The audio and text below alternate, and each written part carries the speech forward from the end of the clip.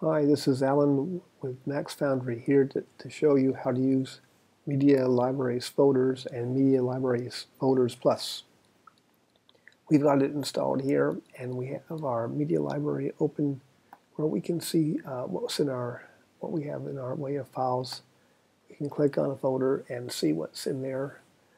Let's add a new file.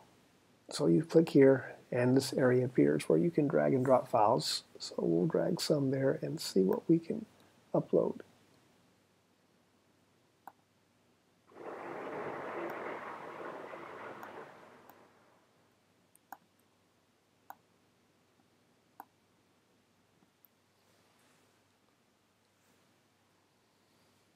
Yes, they were uploaded. And now we can also move some files into here. Let's go find some files we can move in here. We can select several we can drag and drop together. And they're moved to the new folder and their links are updated in any poster pages. Perhaps we want to uh, create a new folder. So let's say add folder. Create and we go back here and there we can see our new folder has been added. All right. Now sometimes we may not want to move uh, a, uh, file, we may want to copy it. So we can just click here on this toggle button and it goes over to copy. And you'll notice here we have this message area here that as you put the mouse over any button, it shows you the purpose of that button to help you understand how to use uh, media libraries folders. Okay, now then let's say we want to rename a file. Uh, can we uh, find to rename? Rename.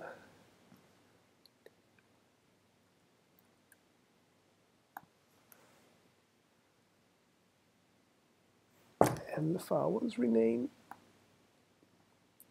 we don't allow you to rename folders because you might break lots of links doing that. The general philosophy behind the way we built our plugin was to prevent mass accidental mass deletion of, of images so you don't lose do something that you could accidentally lose them all. All right, let's see. Now we can also have this button here allows us to select all the files or unselect all at once. And we have a sync button that allows us to uh, import files that are on the server but not in the media library. Say, for instance, that you so you have this uh, folder here, trees. There's nothing in it. Let's put something in it. So I can go find the folders. Here are trees. Okay, I go grab some uh, images and put them there.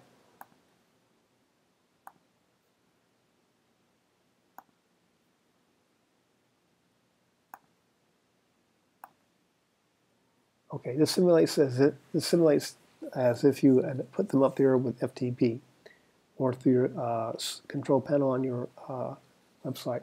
So then you can go to trees, and then you want say you want to do the sync, and it will go there and find the files and add them to your media library. It says it found seven files, and let's see, click on trees, and there they are. So they were added to the media library. Now, uh, Media Libraries Folders Pro uh, can uh, has a better sync function. This one does only the current folders. The Pro version can sync subfolders also. And you can also regenerate thumbnails. So that if you wanted to say, I want to regenerate thumbnails for particular for one or more images, you can simply select them and click this button, and it will regenerate the thumbnails. Now we also have our sister product, uh, MaxGalleria, which ha has uh, galleries and different layouts. And so if you want to add images to a gallery, you can simply click here and find an existing gallery in Max then select your images and add them, and it will add them to that gallery very quickly. Uh, you can sort uh, the uh, display of files by name or by date, and you can search for files uh, here it will show you, uh, you can uh, give you a list of files to click on that will take you to the file, to its folder, wherever it's located. Now if you do want to delete a folder, you have to make sure it's empty first. And if you have an empty folder you want to delete, then just right click here and say delete this folder. It will ask you if you're sure, you can say yes. But you can also hide a folder. So let's say you want to hide a folder without deleting it, you don't want it in the media library anymore, you can right click and say hide this folder. And you ask if you're sure and say okay and it will remove that folder and its contents from the media library. And so that's about the capabilities of the um, media libraries folders. Notice we have the uh, floating file tree that floats as you move uh, uh, as you page down the, the, the, page. Or if you want to stop it from uh, floating, you can go into settings and do that.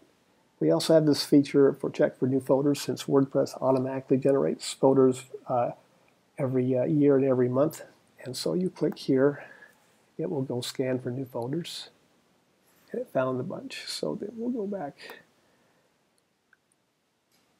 and we'll see that the new folders have been added.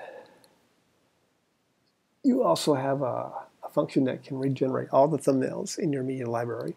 And then another one for image SEO if you want to have, uh, make sure that your alt tags have uh, some text in there, that uh, meaningful text in there. You can tell it to have folder name, file name, and you can give it the uh, also a title attribute for your images. And you can make these settings and then you'll uh, that will automatically happen as you upload files.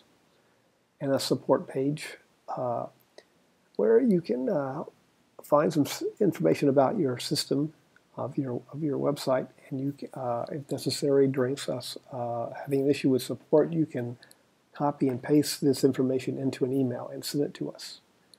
Now, switching over to Media Libraries Folders Pro, we can look at the differences here, and that one thing you have is that you have uh, categories that you can uh, uh, uh classify your images by categories. And uh, you can add categories, set categories, show the categories uh, of the images that you have in your library. And this is compatible with the Enhanced Media Library plugin so that the categories you have there will also show up here. You can also uh, create a new NextGEN uh, NextGEN gallery if you use NextGEN Do this uh, through Media Libraries Folders Pro, and you can add images to a NextGEN gallery. So here you can add create a new gallery by typing in a name and create gallery. And here you can select images to add to an existing gallery, and then they'll be added to that gallery. So uh, there's not a folder interface, uh, a folder tree interface for the non-pro version. So you'll have to use the old media library in order to add your images to poster pages. But if you have the pro version, then when you go to post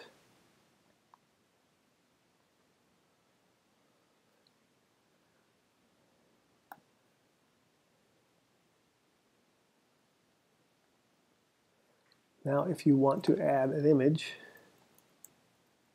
to your post, you can select Add Media as normal, and it comes up with Media Library Folders Pro among the other selections that you can choose from in your uh, media uploader. And so now you have the same interface here that you can now go find the images you want to insert. So now I want to insert this image and then I come up here and there's an insert media button. So I, I've selected it, so I click insert media. Now it's going to load that image and its sizes.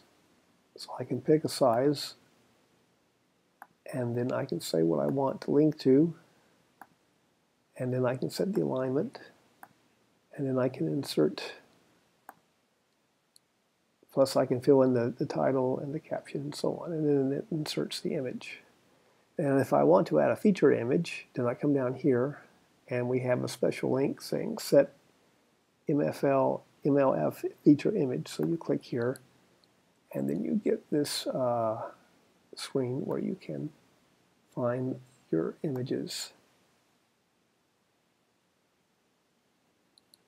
Select them and as if a select one you want for your featured image. Actually, you just click on it. That's all you do as it and it loads. As it says up here, click on the image you want to use. Don't use a checkbox. That's for something else.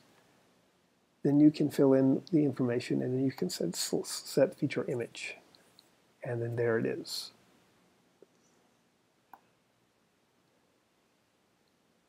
We also integrate with um, WooCommerce for WooCommerce product images, which you can also add through uh, Media Libraries Folders Pro when you're in the product, when you're on the product page. That's it. Hope you enjoyed our demonstration. That's all for now.